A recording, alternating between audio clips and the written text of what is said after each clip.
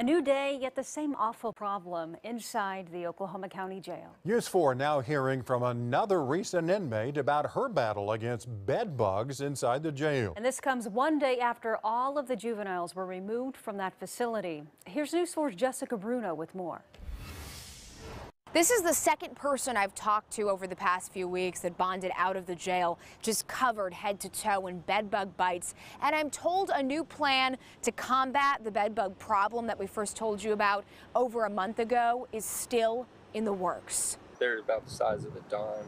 That was back on July 14th when Michael Stang contacted News 4 about these large bedbug bites now covering his body after a recent stay inside the Oklahoma County Jail. I couldn't even get in the vehicle to be picked up. And now, another call to our newsroom with the same story. This one from Nikisha Williamson. How many bites do you think you have?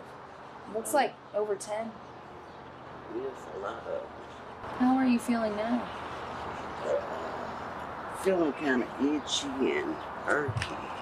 Earlier this month, the State Department of Health sending this letter to the jail following a recent inspection, barring them from housing juveniles due to a long list of repeat deficiencies. Now, juveniles charged with less serious crimes were immediately removed. And then on Monday, the jail announcing the remaining 11 juveniles, all charged with murder one, were transferred to the Pawnee County Detention Center following this administrative order by Judge Ray Elliott. It reads From here on out, juveniles charged with first degree murder shall be initially processed at the Oklahoma County Detention Center and then housed in a facility with whom the Oklahoma County Jail Trust Authority has contracted, which is Pawnee County.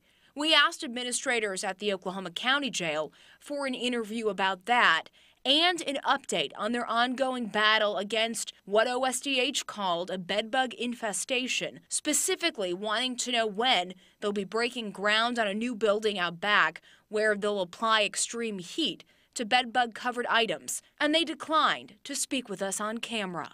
It was so nasty, it was pathetic.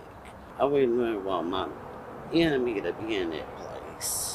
At the Oklahoma County Jail, Jessica Bruno, Oklahoma's News 4. All right, Jessica, thank you. Now, Oklahoma County is paying $45 per day per juvenile inmate to Pawnee County to house them there. We'll be getting a tour of their facility tomorrow.